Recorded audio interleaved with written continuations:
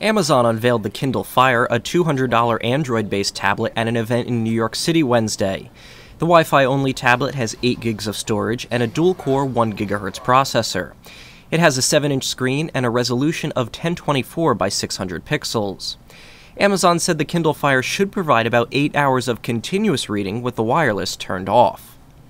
The Kindle Fire joins an already crowded tablet market dominated by Apple's iPad, which is projected to have a 73% market share by year's end.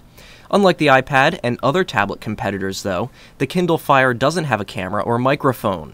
What it doesn't lack is a variety of media to consume on the device, like 100,000 movies and TV shows available through Amazon's instant streaming service, or nearly a million ebooks that can be instantly downloaded. The Kindle Fire is available for pre order now and will begin shipping on November 15th. The company also showed off two other models in the sub $100 category. They use the traditional e ink display and have long battery lives, ranging from a few weeks to a few months depending on usage. The basic Wi Fi only Kindle is priced at $79, while the Kindle Touch goes for $99.